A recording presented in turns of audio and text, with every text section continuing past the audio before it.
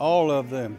We have agreed this is a, a great assemblage of uh, law officers and professional law enforcement people, and we'll do whatever it takes to be sure that what we believe is an aberration in one of the finest family beaches uh, in America does not happen again. We are, whatever it takes, uh, we are, we are uh, going to do it all. Do we have numbers in terms of funds and boots on the ground yet? We do. There'll be a lot more boots on the ground than we were. As I say, these various agencies are all pitching in, and there will be uh, plenty of boots on the ground, as you say. There'll be plenty of professionals, uh, some visible, uh, many visible, and, and some uh, not noticeable to many more than were here before. What would you tell um, visitors or tourists who may be on edge about coming into South Carolina?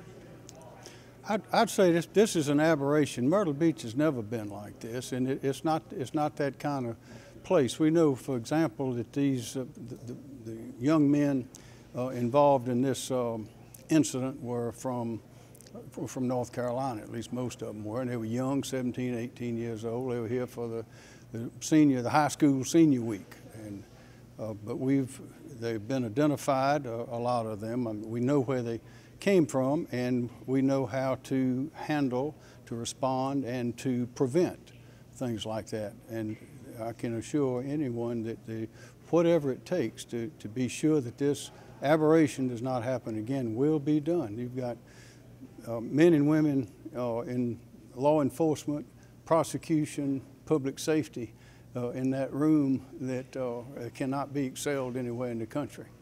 We've heard from police at least one of these was gang related. What are we doing in South Carolina to combat that problem? And it's obviously a problem that we've had in our area. Well, we think this was, this was not a gang event, but you always have people, anywhere you find young people, you're liable to find some that uh, may be associated with, with a gang somewhere at one time or another.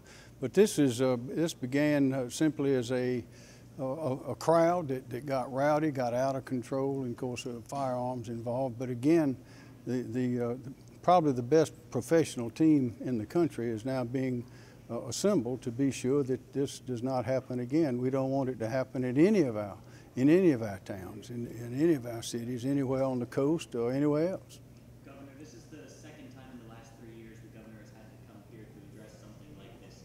Are you worried about the image of Myrtle Beach changing from a family-friendly destination to not so family-friendly? I think Myrtle Beach is one of the most popular destinations uh, in the, on the East Coast, and for many, many years it has had a marvelous reputation. I do not think that this will, will hurt it, but we just want to be sure that everybody is comfortable when they come here or when they live here, that we're not going to tolerate this kind of activity.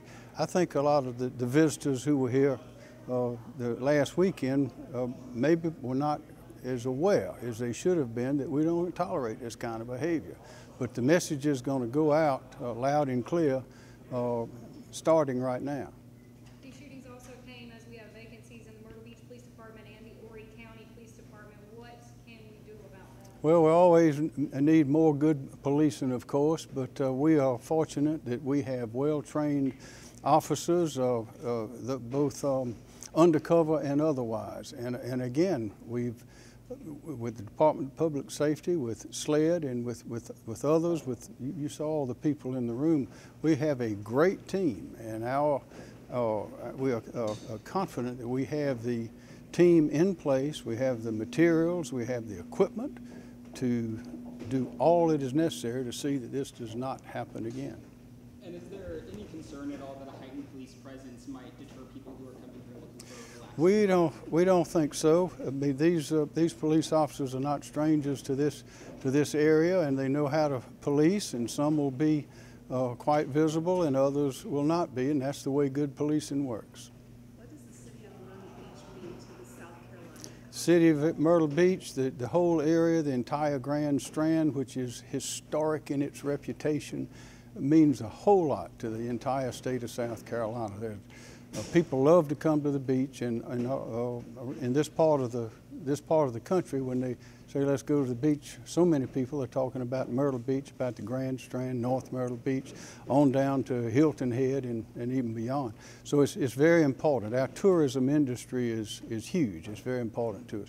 But so are the lives, safety, and, and property of all the people who live here, people who are working here, the children. So whatever it takes to be sure that everyone is safe, sound, and happy, we're going to do. Last question for the governor, please. What does this say about the state of Myrtle Beach right now that you actually have to be here talking with law enforcement about how we're gonna keep people safe? Anytime I can come to Myrtle Beach, I'm going to be here. I love it. I've uh, been coming to the to the Grand Strand, uh, Myrtle Beach, Pawleys Island, Murrells Inlet since I was a child, and I'm not going to quit. I, uh, this is a it is a great great place. Uh, we view this as an aberration. It's something that we had some young young folks who were, were not aware that you can't cut up like that. You can't hurt people like that here, and we're just not going to tolerate it. We think when they understand that and when they are aware of the the arsenal of, of police and response and safety, public safety power that's being brought to bear to be sure that doesn't happen again, uh, maybe they'll think twice and behave.